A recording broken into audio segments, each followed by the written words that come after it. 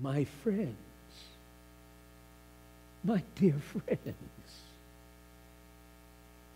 Now, I want you to know, brothers, that what has happened to me has really served to advance the gospel.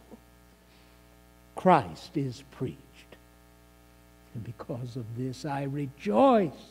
Therefore, my dear friends, as you have always obeyed, not only in my presence, but now much more in my absence, continue to live out your salvation with fear and trembling. For it is God who works in you to will and to act according to his good purpose. Do everything without complaining or arguing, so that you may become blameless and pure. And I am confident in the Lord that I myself will come soon. But I think it is necessary to send back to you Epaphroditus, my brother, fellow worker, fellow soldier,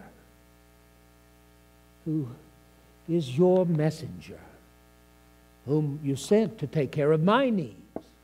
Welcome him in the Lord with great joy and honor men like him because he almost died for the work of Christ, risking his life to make up for the help you could not give me.